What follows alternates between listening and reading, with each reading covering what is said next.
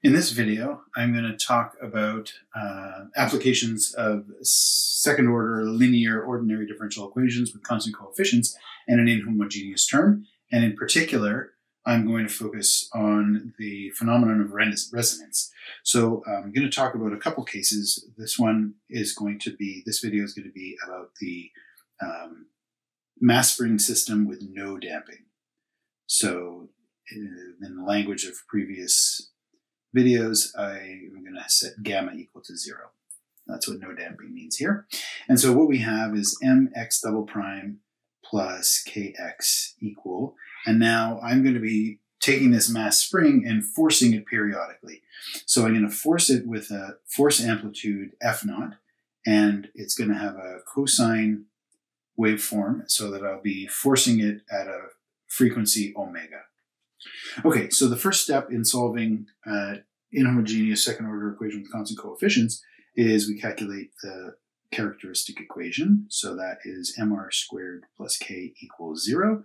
And that gives us our values of plus or minus i times omega naught, where omega naught is, as it was before, the square root of k over m. And so um, that gives us a homogeneous solution x sub h equals c1 cosine of omega naught t plus c2 sine of omega naught t. So that's the homogeneous solution. And now we look for a particular solution. So let's look at a couple cases here. The first case is uh, with omega naught equal to omega naught. And this is the simpler one because there's no conflict between the forcing term and the homogeneous solution. And so our xp in this case is going to be a cosine omega t plus b sine omega t. And um, we could leave out that b sine omega t if we notice that there's a no y prime term here. Um, uh, but if you leave it in, what you'll find, and I'm not going to go through this, but you can go through the calculation and check it yourself. And what you'll find is that you get um, uh, A has to be equal to F naught divided by K minus omega squared M. And I'm going to rewrite that a little bit as F naught divided by, I'm going to factor out the M. And when you factor out the M, the, for the K becomes K over M, which is omega naught squared, and you get minus omega squared. And then for B, we find that b is equal to zero. And that's why we could have left out the sine term if we had seen that in advance, but I want you to just realize that if you miss that subtlety, it'll always fall out um, in the calculation. Okay, so that is our uh, particular solution then. So we have xp of t is equal to f naught over m times omega naught squared minus omega squared. And you'll notice the amplitude of this cosine solution is has an omega naught squared minus omega squared in the denominator, which means had we chosen any different from this, if we had chosen omega equal omega naught, this solution would have caused problems. It would have blown up. And so that's why it's a separate case. But first, let me just go through and show you how this works, what it looks like, um, the solution. So let's look at a simple initial condition. let's say x of 0 is equal to 0 and x prime of 0 is equal to 0. So, um, so when we do that, we have to, and I'll, I'll, let you do this as an exercise, but the full x of t is equal to c, or I guess it's, uh, yeah, c1 cosine omega naught t plus c2 sine omega naught t plus f naught over m omega naught squared minus omega squared cosine omega t. And when we calculate the C1 value and C2 value for this initial condition, we find that C1 is equal to minus F naught over M omega naught squared minus omega squared, and C2 is equal to zero. And so what we end up with then is if you simplify the x of t expression when the c when those c values are factored in, you can factor out this common factor of f naught over m omega naught squared minus omega squared. And that's going to now multiply both the cosine omega t with a plus sign in front of it and a cosine omega naught t with a minus sign in front of it.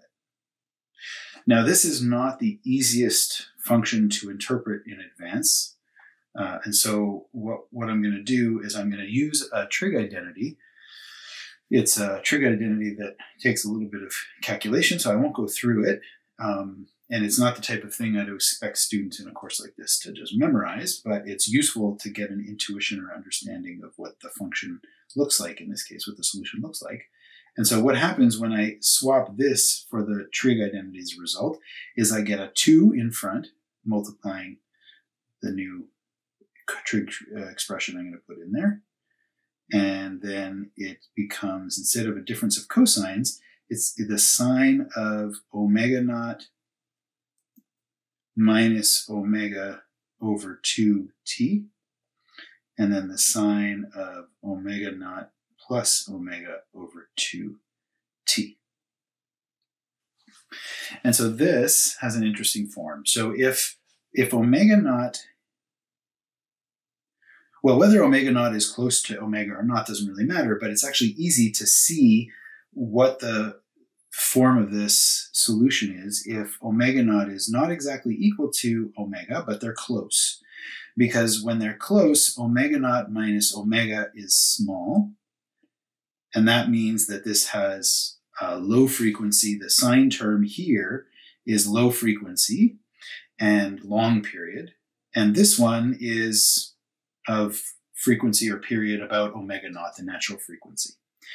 So what does that look like? So what I what I do to, to draw that is I'll draw this function first. So I have the sine function with some frequency. And then it has a low frequency. So if this is a slowly changing number, so this function here is a number, a value or a function that goes, changes more slowly than this one, like that. And that's multiplying this function. So the first sine function I drew is the basic frequency that we see.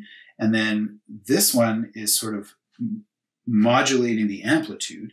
And so instead of the having the full function coming up like this, this one is just going to come up to that level. And then I have to draw this down on this side too, because it's going to be multiplied. And so what I end up with is something that goes between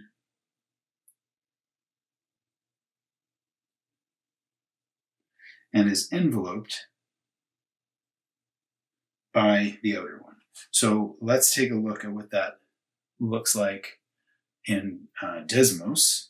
And then I'm actually going to show you or play for you a sound that represents, that's uh, represented by this graph if you interpret these frequencies as uh, pressure wave sound frequencies. So here's what beats look like in um, Desmos. So, and I'm referring to the solution that we found as a beat because, well, you'll see when I play the sound in a moment. So what we have here in orange is the solution that we found, which is the difference of the cosines, cos omega t uh, minus cosine omega naught t. And here are the omega values. So here I've chosen omega naught to be 3, and omega is slightly larger. So if I increase omega naught, what you see is uh, the envelope amplitude decreases and um, you start to see less and less. If I get rid of the envelope functions around them, the orange signal becomes less and less obviously a sort of beat pattern. But as I get closer to the frequency, you can actually see without even having the envelope there, you can see effectively the envelope. And that's because you have more, um, more periods per, per envelope period. Up on top here, I've plotted just the two components in blue and green.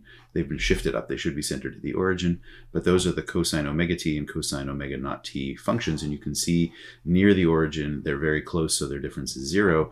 But because they're not exactly the same frequency, they drift apart and eventually are maximally different somewhere around here, where you get the highest amplitude in their difference.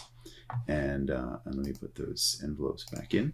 And so that's what a beat looks like in Desmos as a plot. Let me go over to MATLAB and I will show you what it looks like or sounds like. So here I've got a code that does simple thing. It defines a time domain and that's what we'll hear. That's the length of time we'll hear the signal. Here I've defined omega naught as 400 and omega as 470. The amplitude of the signal is 2, so that's uh, determined by f naught over m.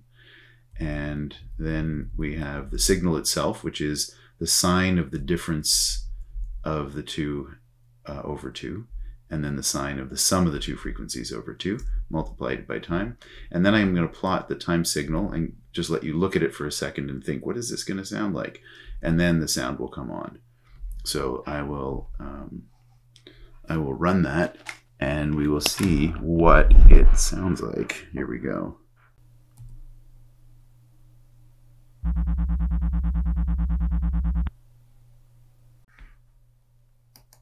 Okay, so that is what a beat solution sounds like and looks like. All right. In the next video, I will talk about resonance itself.